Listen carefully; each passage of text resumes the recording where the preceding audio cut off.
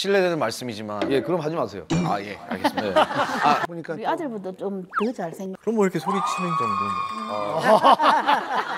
진짜 잘한다 얘. 예? 원샷. 원샷 원샷 동거이는 잘. 제목이 기억이 안 나. 아니에요. 넘어가. 사다 주자 뭘 사다 주 아무 땅 사시구만. 뭐 줬어요? 입도 뻗어 나른다.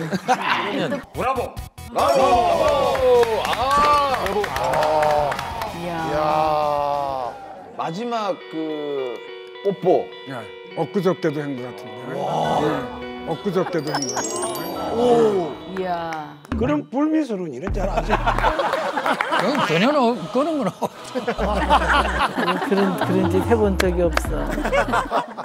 79년도에 결혼했으니까 45년째 연애 중입니다.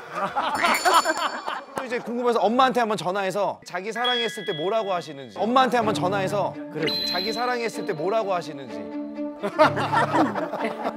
그 표현을 평생 처음 하기 때문에 혼자 훌쩍거릴지도 몰라요. 평생 음한 남편으로만 살았기 때문에 아들한테도 다른 분이 받으셨는데 정국이 형 아버님 얼굴 파래지셨는데 지금. 이 얘기 해보자. 사랑합니다.